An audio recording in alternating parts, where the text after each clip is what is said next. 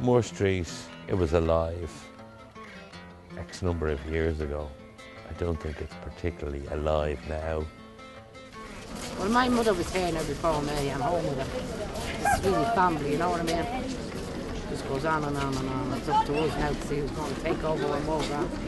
I don't know who's going to do it.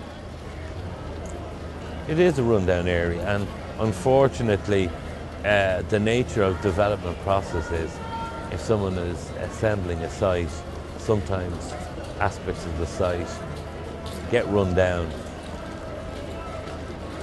Even in the shambolic state that it is in, Moore Street is still a thriving market area. And that should be remembered, apart from the 1916 connections and its architectural merit, it's a valuable and vibrant part of Dublin street culture and life.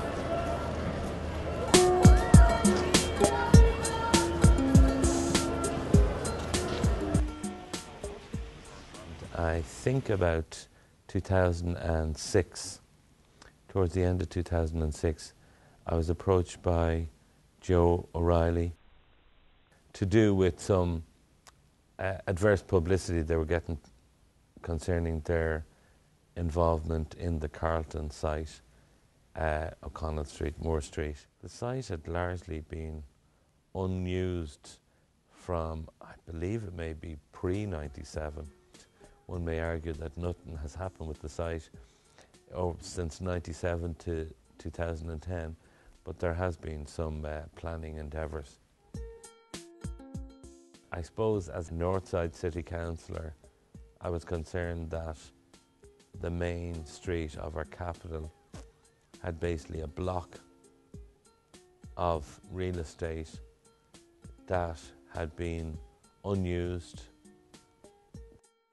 if you have a block of land, a block of real estate within that retail core that isn't functioning, such as the Carlton site hasn't been for the last 13 plus years, then it takes away from the retail core.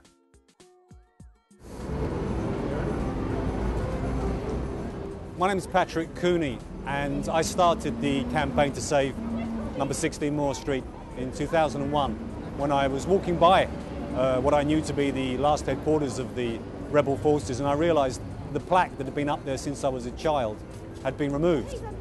I wondered why it had been removed, and so I got in contact with the National Graves Association, and they found out that it had been removed by a developer who intended to demolish the entire terrace. That's how the campaign started. The area we will be going to would be recognisable to the men and women of 1916. It is the last piece of Dublin that is recognisably 1916 territory. Moore Street. Uh, Jim Connolly Heron, great grandson of James Connolly's. We consider Moore Street, the Moore Street Terrace, along with the GPO, to be the birthplace of the Republic. It's where the GPO garrison ended up in 1916. This shows the area of the what's known as the Carlton site, uh, including the in red the national monument at 14 to 17 Moore Street. So the route of evacuation from the GPO took, took the form of the route was from the side door of General Post Office into Henry Place, around the corner where the volunteers came under fire here at the mouth of Henry Place and Moore Lane, then on into the next section, which is this is uh, Street itself, and a decision was taken to enter the buildings at number 10, and the volunteers burrowed their way up the entire terrace.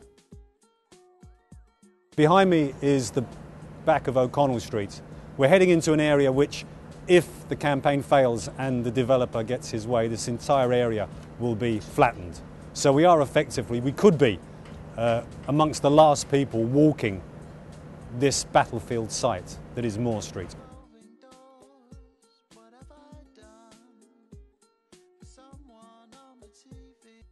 Behind me and behind this advertising hoarding is the outline of a door. It's the door into Cogan's provisions, and it's the entrance into the Moore Street terrace through which the garrison retreated and tunnelled through the entire terrace. The entire terrace became the last headquarters of the GPO garrison, and that's why we argue that the entire site should be treated as a battlefield site. The plan is to demolish almost the entire terrace, other than 14 to 17, which were designated a national monument uh, by Minister Dick Roche.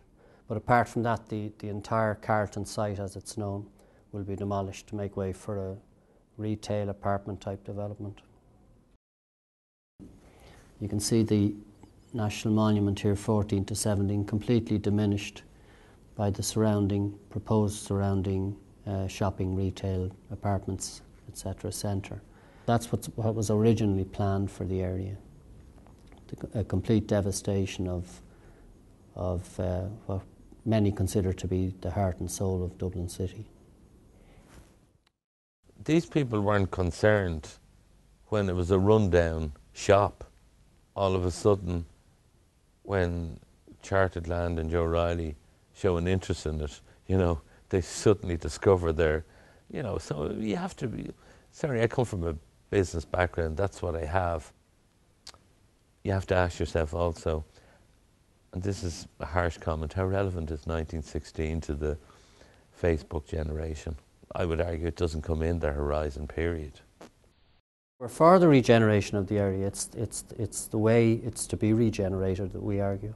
We argue that you have the basis here for a cultural historic quarter, which will be a magnet for tourists from all over the world. The area should be looked upon as a battlefield site and accorded the same sort of status as the Battle of the Boyne site. The state have, pay, have spent millions on developing the Battle of the Boyne, which in fact signals, you could say, the end of the nation, whereas this area we consider signals, signals the birth of the nation. What I want is a successful city centre. What I don't want is people uh, achieving their grand stances on various issues and the street being empty and the city centre not fulfilling its function. Of course, Moore Street isn't just about 1916. It's the last street market left on Dublin's north side, and it leads into the northern Georgian core, two of the finest Georgian squares in Dublin, Parnell Square and Mountjoy Square. It's a thriving street market. It has many cultural and social traditions which will also be swept away. And it's entirely acceptable, even if you're not interested in the 1916 connection, you should be interested the fact that another part of our city will be swept away without any debate or any alternative plan. Accepting that we do have to protect our heritage, the most important thing nowadays is the most important issue nowadays is unemployment. And how do we make sure there's jobs for people where they can access those jobs? Even if you reduce it to a commercial argument, it's much more likely to be, uh, you know, uh, something to be to be presented uh, for visitors to, to visitors that visit Dublin than a mere shopping centre because shopping centres can be found all over the world. So this is a historic area. It's a battlefield site, and Brian Lenihan at the Béal na Bláth speech in 2010 in Cork said that Béal na Bláth was a sacred site, and I agree with him. But I think Moore Street is also a sacred site. And that's why I wonder in 2016 when we invite world leaders to come to Dublin to celebrate our 100th birthday, will we be leading them through a shopping centre with to let signs on the shops to a pile of red bricks which used to be our national monument, the birthplace of the Irish Republic?